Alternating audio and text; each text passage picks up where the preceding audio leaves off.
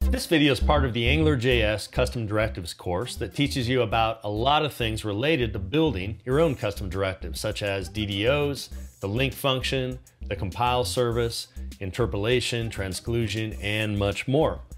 You can get information about the course at tinyurl.com slash AngularJSDirectives, and let's jump right into the video.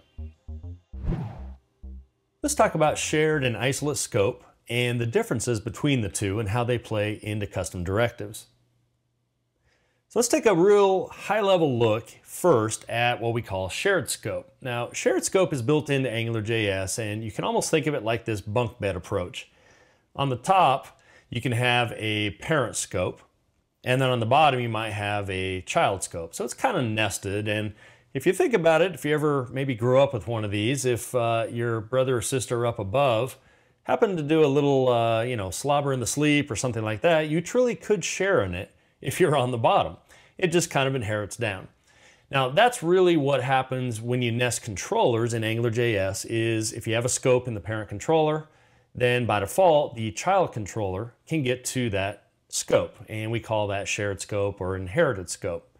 Now you're gonna see in just a moment, you can do this with AngularJS directives but it's really only useful when a directive is only going to be used in a given app.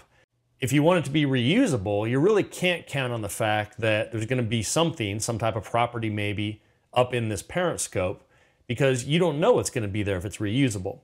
And that'll get us into the next one, which is called isolate scope. Now, isolate scope, you're sleeping alone. You're totally on your own. There's no one around and you're completely isolated from everything else.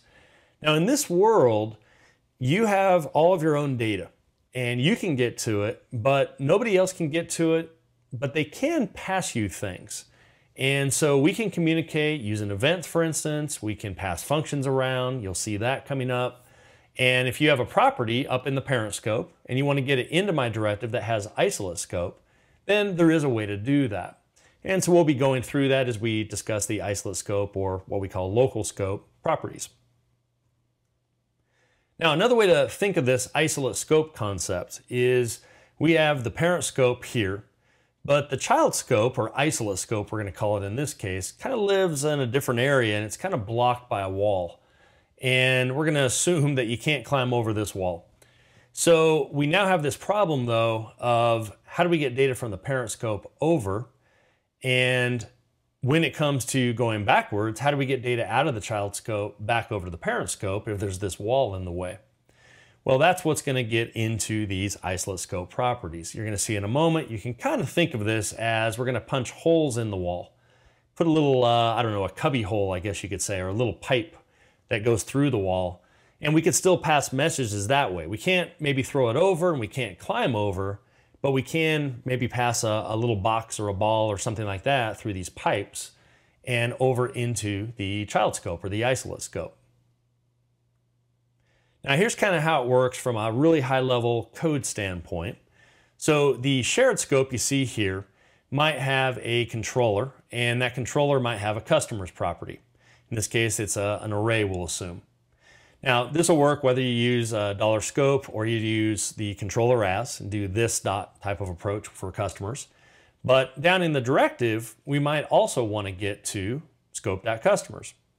Well, by default, that just inherits down and we can share that. You don't even have to do anything special to get to it. You could just access it directly because in this case, by using a shared scope, the directive, as it says here, is depending on this parent scope. Now, hopefully you can see that that limits the reuse of your directive. If you don't have this customer scope property, then obviously if you're gonna write out the customers, maybe you're gonna iterate through those inside of the directive and write out a list or something like that. Well, if you can't count on the customers, the directive's kind of useless. So oftentimes this might be useful in place of like an ng include, and we'll actually talk about that coming up here when I do a demonstration. But for a lot of directives, this doesn't work so well because you just don't know what's going to be passed. Now, the alternative would be this isolate scope. So in this case, the controller still has this customer's property, but because we did isolate scope, that's not going to be shared down. It's like there's a wall that blocks it. So we're not going to be able to get to scope.customers. Now, we can create our own properties down here in the directive, such as this isolated equals true property, and that's just a custom one I just made up. But the scope is completely isolated from the parent scope. You're literally behind the, the big old wall, and there's no way to throw something over or climb over. So we're going to have to come up with another approach. So before we go any further, let's take a quick look at some code and see what shared scope might look like. All right, so you can see that we have a controller here and it has a customer, so just a single one in this case. And we have a name and a street property. Pretty standard stuff here. The scopes get injected in. Uh, if you don't like that, you could use controller as, you know, all that's fair game here.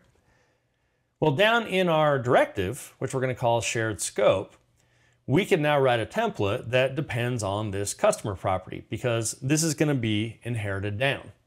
And so we can get to customer.name and customer.street. And if you've used the ng include directive from Angular, it's a way to kind of suck in little baby views, I like to call them. And they can even have their own controllers. But we can just get to, by default, this inherited scope. And this is the shared scope concept. All right, so this might be what it looks like. And this would, of course, just write out name and street once it renders. Now, when it comes to isolating scope, it's a really simple technique, and this is going to be one of the properties we discussed in a previous module. In this particular directive, we're going to have an isolate scope directive name, and you can see we have a template that has a customer name and a customer street binding in it, a, a data binding expression. Well, to isolate the scope, we need to build the wall. And so what we do is we use the scope property in this DDO, directive definition object as a quick review. And then this, to me, represents each side of the wall. And so every time I see this, I think, okay, we're building a wall and we can't throw something over the wall. We can't, you know, bore a hole through the wall per se. Um, but we can build some machinery into this wall to make it so that the parent scope can still communicate down into the directive and vice versa. And that's what we'll be talking about really throughout the rest of this module. Now, there's a problem with this demonstration though, the isolate scope, when we go to use this directive here, no data is going to display because we're trying to get to some customer property, which has a name subproperty and a street, and there is no customer property. We shut that off when we did this. We build up the wall and we can no longer get to that. So in this particular case, that's not going to work. So what do you do then? How does data get through when you have this parent scope that has, for instance, the customer property and you have this directive isolate scope over here, what are we going to do to get data over this wall? Well, that's actually going to be the subject of the rest of the module. We're going to talk about these local scope properties, and I like to think of them as building a wall, but kind of building some pipes into the walls so that our parent scope can still pass data over into the directive scope. So what I'm going to do first is show you a live demo of the shared scope and then once we do that, we're going to jump right over into these local scope properties. Let's take a look at the difference between shared scope and isolate scope in directives. So you can see in this page here, I have a reference to a directive called shared scope and another one called isolate scope, which have rather obvious purposes. And I referenced Angular and one other little script here that's important called directives controller. Now this is just a really simple controller that has a few properties in it. You'll notice that uh, we have this customer here, we have a customers and some other things, but for now we're mostly concerned about the customer. That's what we're gonna be working with in this particular demonstration. So let me go into the shared scope directive. And this is very, very similar to what we saw in the first module in the course uh, where we did a hello world. This just happens to have a few data binding expressions embedded as you can see here for name and for street. And so what'll happen is because we haven't isolated the scope, it'll just inherit that down from our controller and just write those out. So if we go back to the page here, we're just gonna reference the controller in this simple demo, and that'll get us access to those properties. Now from here, the isolate scope one, if we go into that, you'll notice it's pretty much the same, and I'm gonna leave it that way initially and so let's go ahead and run the index here, HTML. And when this loads, you should see the data written out for both. And you'll notice that it does work. Uh, even the isolate scope works. And that's because right now it's, again, not isolate scope at this point. So let's sw switch on back here and go to our isolate scope. And let's build up the walls. Let's make it truly isolated. So we're going to say scope, and then we're going to give it the kind of squiggly brackets here. And again, I like to think of that as kind of the left side of the wall and the right side of the wall. And then we can build in, though, some pipelines, you'll see later, to allow the outside world to pass in data. But for now, we're just going to totally cut ourselves off from the outside scope. So let's go ahead and save that. And let's switch back over here. And you'll see it's already been updated, but when I refresh, nothing displays. And that is correct behavior because we've isolated ourselves.